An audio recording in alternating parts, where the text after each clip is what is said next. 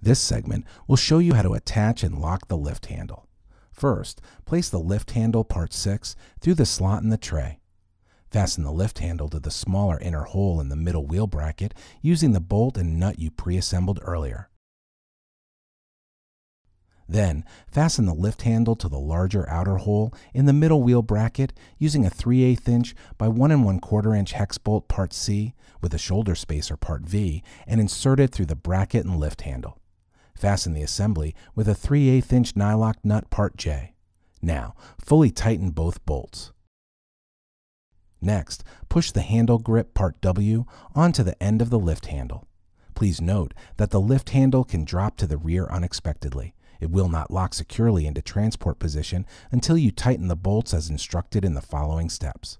First, turn the aerator upright. Then, place the lift handle into the transport locking notch at the front end of the slot in the tray. Next, stand on the right side of the aerator, push against the tray, which will force the lift handle over to the right side of the notch. Now, keep the tray and lift handle in this alignment and tighten the eight bolts at the corners of the tray.